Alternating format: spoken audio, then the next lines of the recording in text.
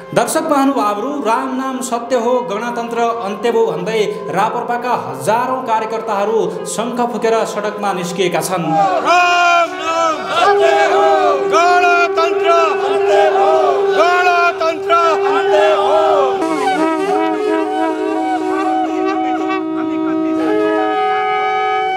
तपाईँले देखिरहनु भएको छ यति बेला प्रदर्शनकारीहरूले हात हातमा विभिन्न काण्डमा मुछेका नेताहरूको साङ्गीतिक तस्बिर समेत बोकेका छन् भने शङ्ख फुकेर गणतन्त्र अन्त्य गरेरै छाड्ने शङ्ख घोष गरेका छन्। केही नयाँ कार्यको थालनी गर्दाखेरि शङ्ख बजाएर चाहिँ सुरु गर्नुहुन्थ्यो भने महाभारतको युद्ध पनि त्यसै गरी नै भएको थियो।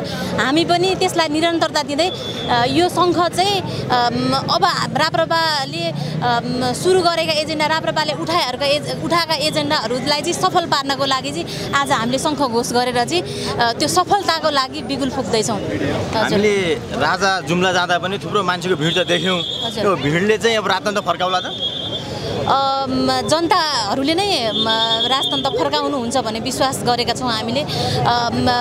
यदि चाहने हो भने ठुला दलले चाहने हो भने जनमत सङ्ग्रह गर्ने हो भनेदेखि जुम्लामा जाँदा पनि झापामा जाँदा पनि भक्तपुरमा जाँदा पनि जुनसुकै ठाउँमा पनि राजा ज्ञानेन्द्र जहाँ जहाँ उपस्थित हुनुहुन्छ त्यहाँ त्यसै गरी जनताको त्यो देखि जनताको त्यो माहौल देख्न सकिन्छ।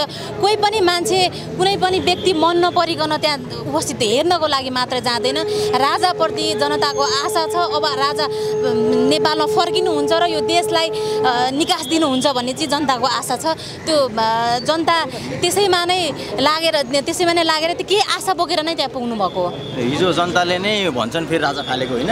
जनताले राजा फालेको भनेर कसले भन्यो? जनताले जनतासँग सोधिएको थियो यो राजा फाल्नको लागि हिन्दू धर्मनिरपेक्षता बनाउनको लागि अथवा सङ्घीयता देशमा सङ्घीयता लाद्नको लागि जनतासँग सोधिएको थियो। त्यतिखेर संविधान बनाउने बेलामा विभिन्न देशैभरिबाट जनताको मत सङ्कलन गरिएको थियो उहाँहरूको सुझाव सङ्कलन गरिएको थियो तर त्यो सुझावलाई एउटा डस्टबिनमा हालेर विदेशीहरूले जे जे चाहन्छन् पश्चिमा देशहरूले जे जे जे चाहन्छन् चाइना इन्डियाले को स्वार्थ अनुसार हाम्रा नेताहरू उहाँ चाइना विदेशीहरूकै गुलाम बनेर चाहिँ यो राजा फालिएको हो यो जनता जनतालाई सोधेर फालिएको होइन यदि जनतालाई अहिले सोध्ने हो भनेदेखि राजतन्त्र भोलि पर्सि नै फर्किन सक्छ तपाईँले अवस्था र व्यवस्था दुवै बदल्नु पर्यो भनिरहनु हजुर। छ। फेरि अहिले नयाँ आएको दलहरूले चाहिँ होइन अब व्यवस्था धेरै बदलिसक्यो। अब अवस्था मात्रै बदले पुग्छ भन्दै हुन्छ नि उहाँहरू त। पन्ध्र वर्ष भइसक्यो नि होइन? यो व्यवस्था फालिएको। अझ सडचालिस दुई हजार सडचालिस सालदेखिको कुरा गर्ने हो भने अहिले तेत्तिस वर्ष भइसक्यो। व्यवस्था चेन्ज भएको तर जनताको अवस्था त के? जस्ताको तस्तै छ। हामीले पटक पटक यो यो व्यवस्थाले चाहिँ जनताले निकास पाउँदैन रोजगारी मात्रै मन्त्री हुनुभएको अब राजसभाबाट। उहाँ त आशा छ हामी गर्छौँ गर्दैछौँ भन्ने हुन्छ। अब एक दिनमै श्रम स्वीकृति पाउने भए राम्रो होइन त्यो त? श्रम स्वीकृति पाउने भने सबै युवाहरूलाई विदेश पठाउनको लागि नै हो निकास भनेको। देशले निकास पाउने भनेको विदेश पठाउने कसरी हुन्छ? कोही म कसैले भन्दै हुनुहुन्थ्यो एक लाखभन्दा बढी तलब पुर्याउनु।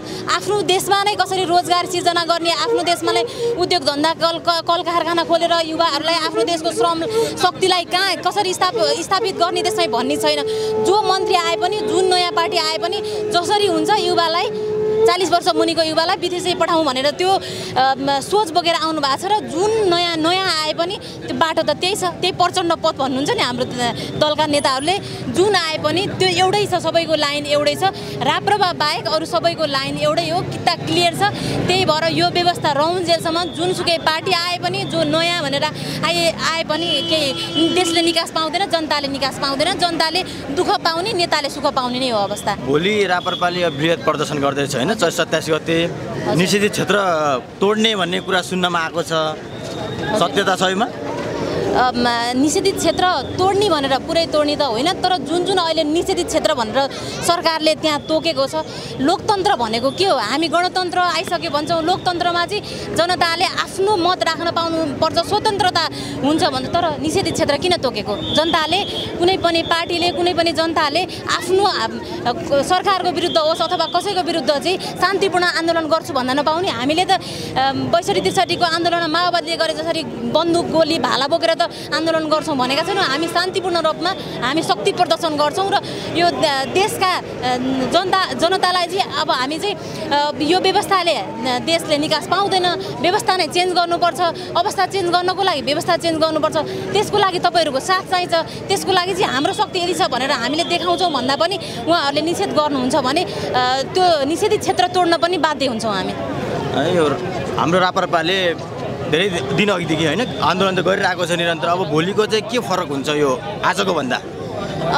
निरन्तर रूपमा आन्दोलन गरिरहेको छ र देखि पनि रहनु भएको छ। त्यो आन्दोलनले केही न केही रूपमा चाहिँ पहिला राप्रपालाई हेर्ने दृष्टिकोण कस्तो थियो र अहिले राप्रपालाई हेर्ने दृष्टिकोण देशैभरिबाट चाहिँ फरक परिसकेको छ र नयाँ दल जसरी उदाएका छन्। नयाँ दल उदाइसके पछाडि उहाँहरूले गर्ने क्रियाकलापले पनि जुन नयाँ दल भनेर आए पनि वैकल्पिक शक्ति भनेर आए पनि गर्ने भनेको केही होइन रहेछ त्यही सत्ताको खेल नै रहेछ भनेर जनताले बुझिसक्नु भएको छ। र यस्ता आन्दोलनले हामीले सरकारलाई गरेको खबरदारीले सदनबाट होस् अथवा सडकबाट होस् हामीले गरेको खबरदारीले जनता परिवर्तन भइसक्नु भएको छ। पहिला पहिला गरेको आन्दोलन भन्दा यो एउटा निकासको बाटो बाटो पनि भन्न सकिन्छ र यो चाहिँ हाम्रो राप्रपाको शक्ति कति छ अथवा यो एजेन्डाको पक्षमा कति छन् त नागरिकहरू भनेर पनि देखाउने एउटा एउटा बाटो हो पनि भन्न चाहन्छु राम नाम सत्य हो राम नाम सत्य हो राम नाम सत्य हो राम नाम सत्य हो गणतन्त्र सत्य हो गणतन्त्र सत्य हो गणतन्त्र सत्य हो गणतन्त्र सत्य हो राम नाम सत्य हो राम नाम सत्य हो राम नाम सत्य हो राम नाम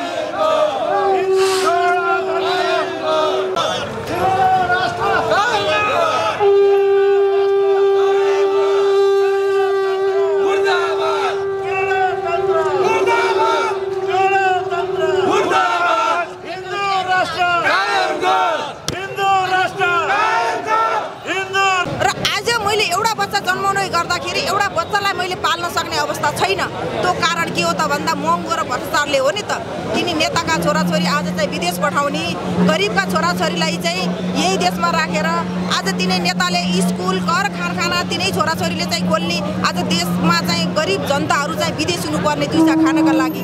यसलाई रोक्न कसरी सकिन्छ भन्नको लागि अब हामीले चाहिँ जनताका चाहना अनुसार यो अवस्था नै परिवर्तन गर्नुपर्छ। हामीलाई संहिता चाहिएकै छैन।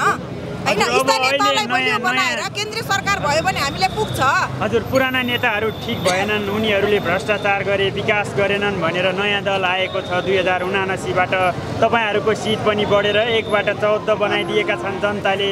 के हो यो पनि ठिक लागेन तपाईँहरूलाई नयाँ दलहरूले गरेको? अब यस्तो हुन्छ नयाँ दलहरूले भन्दाखेरि पनि मान्छेसँग सोच हुन्छ उमेर अनुसार सोच पनि परिवर्तन हुन्छ।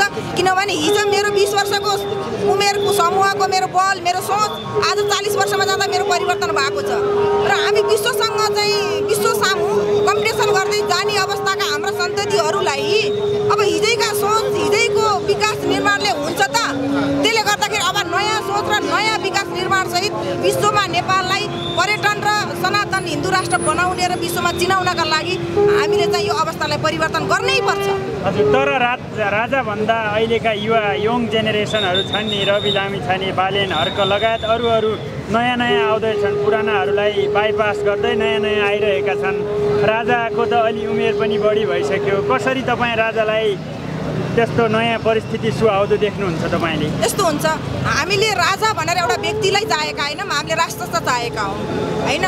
राज संस्थामा एउटा व्यक्ति आज ठुलो भयो भन्दैमा भोलि सन्ततिहरू त्यसमा राज संस्थामा चाहिँ अर्को राम्रो व्यक्ति पनि आउन सक्छ। हिजो महेन्द्रले चाहिँ गर्नुभएका आज यिनी हामी सति पनि सुविधा लिएका छौँ नि त। सबै राजा त्यस्ता थिएनन् सबै राजा राम्रा पनि थिएनन् र सबै राजा नराम्रा पनि थिएनन्। त्यस्तै गरी अहिलेको पद्धतिमा पनि सबै नेता नराम्रा पनि हुनुहुन्न सबै राम्रा पनि हुनुहुन्न। तर समग्रमा भन्दाखेरि अहिलेको यो अवस्था गणतान्त्रिक अवस्था नै गलत हो भन्ने चाहिँ हाम्रो धारणा हो। तर विश्वमा अरू देशहरू पनि छन् गणतान्त्रिक व्यवस्था अप्नाएका। उनीहरूको विकास भएको छ त्यहाँ नेपालीहरू रोजगारी गर्न गएका छन्। आर्थिक अवस्था पनि राम्रो छ मरुभूमि भएको देश छ तर त्यहाँ माटो बाहिरबाट लगेर पनि अन्न उत्पादन गरेर आफ्नो देशलाई पुग्ने जति खर्च गरेर निर्यात पनि गरिरहेका छन् त्यो पनि छ नि। यसलाई कसरी यसमा यस्तो हुन्छ हिजो हाम्रै नेपालीहरू दाजुभाइ हुनुहुन्छ कतारमा आज माटो लगेर विकास गरेर त्यहाँ चाहिँ काम गर्ने।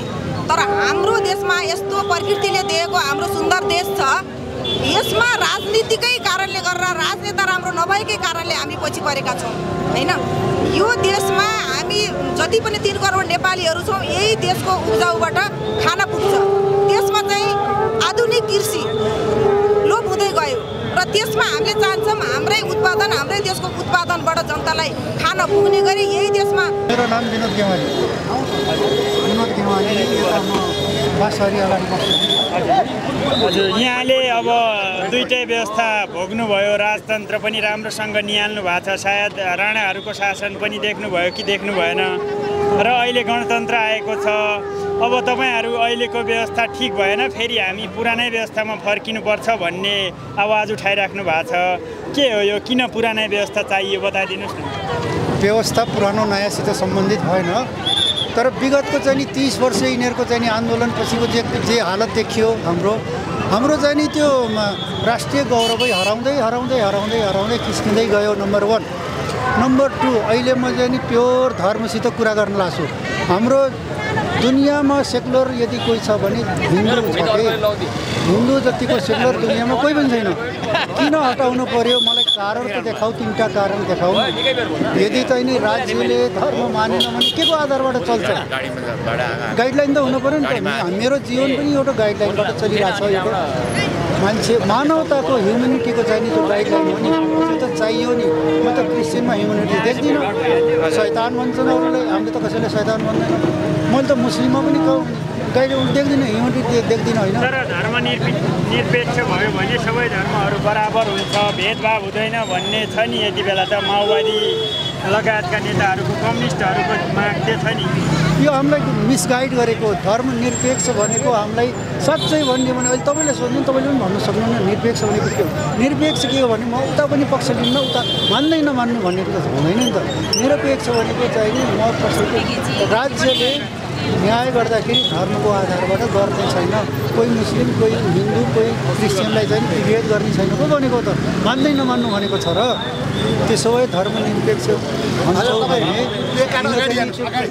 कुमारी यात्रा गराउँछौ किन के भन्छौँ भैरव भोटो देखाउने गर्छ। त त्यो पनि गर न त त्यसो भए होइन भने छैन भनेदेखि यो चाहिँ नि के यो एकदम चाहिँ नि के ऊ यो किन बुझ्दैन पनि बुझाएको छैन पुल्टा बुझाइरहेको छन्। आफूले पनि अब यति बेला नयाँ दलहरू पनि आएका छन् राजनीतिमा। के भन्न चाहनुहुन्छ? उहाँप्रति के छ तपाईँको धारणा? अहिलेकै व्यवस्थालाई सुदृढ बनाएर जानुपर्छ भन्नुभएको छ नयाँ दलका नेताहरूले।